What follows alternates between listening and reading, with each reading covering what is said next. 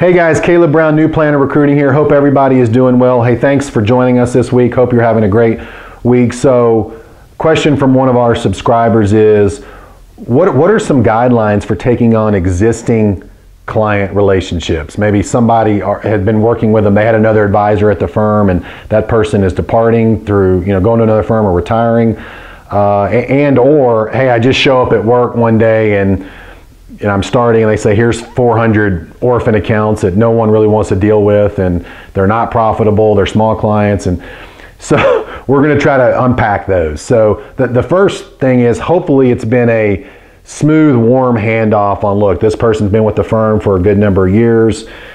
You know, now we're transitioning them to another, you know, advisor that's a that's a better fit. So you're positioned correctly from someone that the client already trusts, that's a much different story. If you if you haven't gotten a smooth handoff, three three things to, to think about. So one, you need to over communicate with the person. Like, hey, here's who I am. I'm going to be sending you a bunch of stuff. I'm excited about this, and and, and, and acknowledge. I know the past has not been all that great.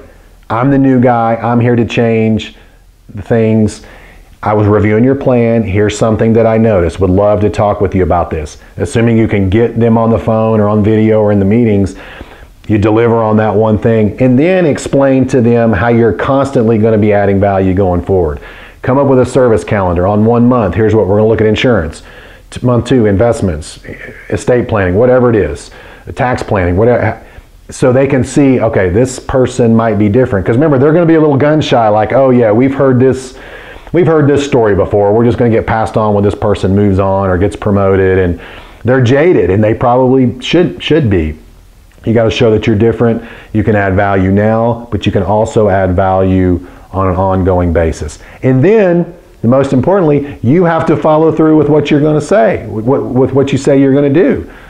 People in the prior positions that they had interactions with probably didn't follow through they got passed over and you know some of them maybe even upset about it. So prepare for some angry phone calls diffuse those over communicate you're different here's how you're going to solve their problems and make their life easier. You can do it. Glad you're in this profession. See you next time. Bye bye